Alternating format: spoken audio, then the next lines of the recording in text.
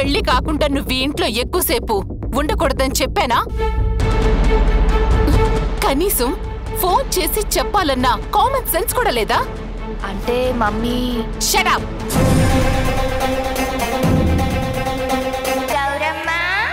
సోమవారం నుండి శనివారం వరకు మధ్యాహ్నం ఒంటి గంట ముప్పై నిమిషాలకు మీ ఈటీవీలో